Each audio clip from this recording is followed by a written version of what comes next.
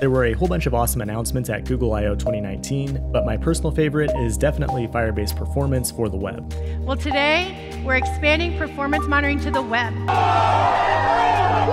This is a tool that can benefit any website that cares about performance, even if that site isn't already using other Firebase products. By simply adding a script tag to your site or including Firebase Perf in your JavaScript bundle, you'll get insights about how your web app performs out in the real world, in terms of initial page load performance and HTTP calls over the network. In today's video, we'll look at the basics of Firebase performance and take things a few steps further by implementing our own custom traces. And we'll look at some awesome upcoming features in Angular Fire to integrate with Angular and RxJS. If you're new here, like and subscribe, and make sure to download the mobile app on iOS or Android to take the Firebase performance quiz after you're done watching this video. Now, there's a few different ways we can use Firebase Performance.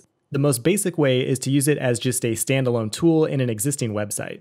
This approach will insert a lightweight script into your HTML document, and then you'll automatically get all kinds of performance reporting on the Firebase console. So this is a great option if you have an existing website and you want some performance reporting, but you don't want to use any other Firebase products.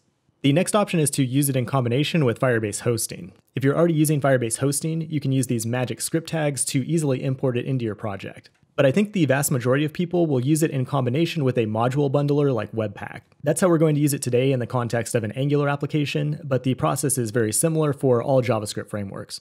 The first thing you want to do is install the latest version of Firebase, making sure that it's version 6.0 or greater. Now, most of the code that we'll look at is relevant to any JavaScript app, but at the end of the video, we're going to look at some really cool new bleeding edge stuff from the Angular Fire library. At the time of this video, you can use it by installing Angular Fire with the next tag. From there, you'll want to go to the Firebase console and go to the settings tab, and you'll see an option to now add your app as a web app. You'll want to do this even if you have an existing app because there's a new property that you need to have in your Firebase config in order to work with Firebase performance. That property is the app ID, which you can see down here at the bottom.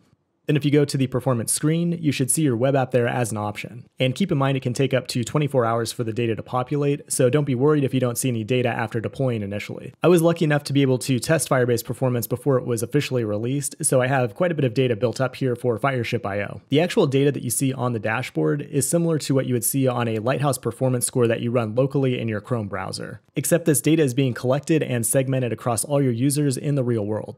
On the dashboard, I can see the aggregate performance for things like First Paint, First Contentful Paint, DOM Interactive, and how they're distributed across the entire user base. By looking at this distribution, I can see that the majority of my users are seeing page load times in less than two seconds, so that's pretty good. But I'm always pushing new code to my web app, so what if I do something that makes the performance decline? I can easily determine if my performance is getting better or worse by looking at the trend over time. Ideally, you want to see this chart have a negative slope because faster is always better. And on top of that, we can filter this data by region, by device, and even whether or not the user has a service worker installed. This allows us to figure out what users are being affected by a performance bottleneck and what the root cause might be. In addition to page loads, it will also keep track of HTTP calls over the network. So if you have some sort of async activity that's causing a performance bottleneck, you'll be able to find it here. Now, everything I've showed you so far will just work out of the box when you include Firebase Performance in your app. But you can also write your own custom traces within your app's code, and that opens the door to all kinds of cool possibilities. For example, I have a custom trace here on a login modal that users click to log into the app, and this allows me to see exactly how long it takes a user on average to log into the app. But one thing I do want to point out at this point is that you should never use any personally identifiable information inside of a trace, things like email addresses or phone numbers. Not only is that a bad practice for user privacy, but Google will flag it for automatic deletion anyway.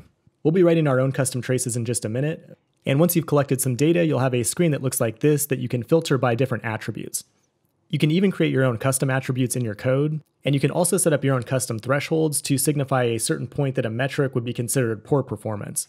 In my case, I've already gotten valuable insight from this trace because I found out that users on Safari take way longer to log in than users on Chrome or Firefox. And the reason I detected that is because Firebase is smart enough to warn me about it with this little orange icon here. So it'll automatically tell you when a certain segment seems out of the ordinary. And that's all based on real world data from Fireship. Let's go ahead and jump into the code and write our own custom traces. Back in our Angular app, we'll go into the app module and then set up the Firebase config, making sure that it contains the app ID. I've already included Firestore and Angular Fire Auth in here, and then we can go ahead and include the Angular Fire Performance module. This setup is specific to Angular, but the traces that we'll write next are framework agnostic. There's a lot of different use cases for Firebase performance depending on what you're interested in tracking. In the component, we'll go ahead and import Firebase from Firebase app and then initialize Firebase performance.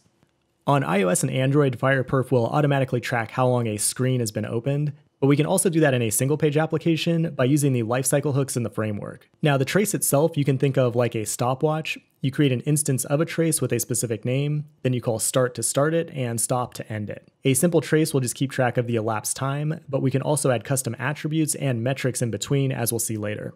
So in this case here, we'll start our trace during ng on init, and then we'll end the trace during ng on destroy and now we'll have an understanding of exactly how much time our users are spending on the login page. So that represents your most simple use case for a custom trace, but there's a whole lot we can do in between the start and stop point.